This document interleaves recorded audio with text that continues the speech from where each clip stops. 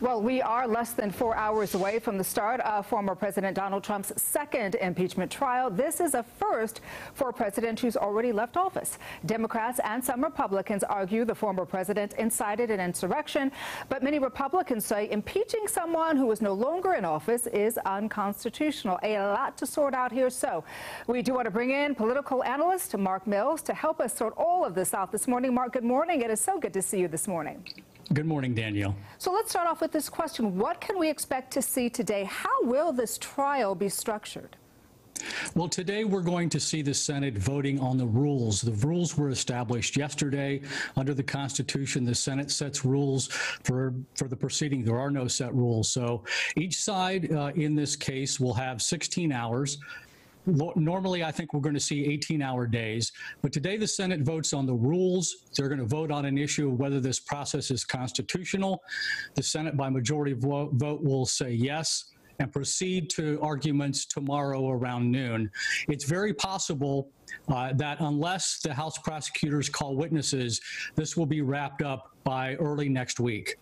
Can we talk a little bit more about the constitutionality of this? Is there kind of Certainly. a answer uh, as to whether or not it is lawful to impeach a president who is no longer president, a president who is no longer in office?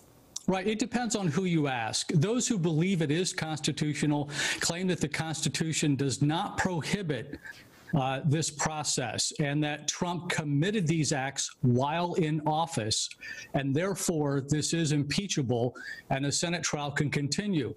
If Trump uh, is convicted, and he, he won't be, there won't be 17 Republicans who will join 50 Democrats to reach that two thirds uh, threshold of conviction.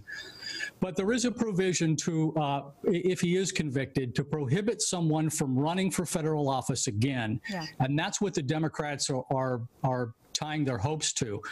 Uh, and so the, the idea that it's not constitutional comes from Republicans and also some legal scholars who believe that the whole point of impeachment is to remove somebody from office, but Trump's already been removed from office. So therefore, this is a moot exercise. And the other part of it is there's nothing in the Constitution that says just because he's not in office doesn't mean he can't be impeached. I know you can interpret that a couple of different ways, and that's like, absolutely yeah what's going to be happening today. I do want to talk a little bit now about the kind of the political ramifications for each party because right. how will this affect affect Republicans? How will this affect Democrats? And also, how will this affect former President Donald Trump? Well, it's going to be profound beyond what goes on in this proceeding. It's very clear the Democrats will not get the votes to convict Trump in this Senate trial. They're not going to hit that two thirds threshold, but they're trying to convict Trump in the court of public opinion. They're trying to tag Trump and mark his legacy with this violence, destruction, and death that occurred at the Capitol on uh, January 6th. Republicans, meanwhile, are going to going to hide behind the cloak of constitutionality, yeah. which would uh, which would basically absolve them from having to blame Trump for his actions. I'm going to be watching three things, uh, even though the, the it's a foregone conclusion what's going to happen there's going to be news here, and I'm going to be watching three things. Number one, did the White House know of intelligence reports that violence was likely to occur before Trump spoke? Secondly, uh, did Trump know that there were some in that uh, in that mob that wanted to find Mike Pence and threatened to execute him? Because Trump tweeted in the middle of that insurrection that that Pence lacked courage to um, to hold back the election certification, which he had no right to do. Pence had no right to do anyway.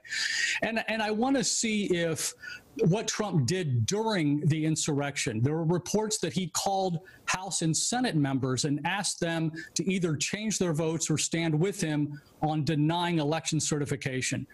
Uh, Trump's people will say that Trump soundly uh, condemned the violence. That's simply not true, and in fact may have used it to try to sway votes. It is going to be an interesting next couple of weeks. I so appreciate your perspective because you always kind of uh, put it in layman's terms that we can all understand. Mark Mills, thank you so much for joining us. Thank you, Danielle. Have a great day. My pleasure as well. Amy.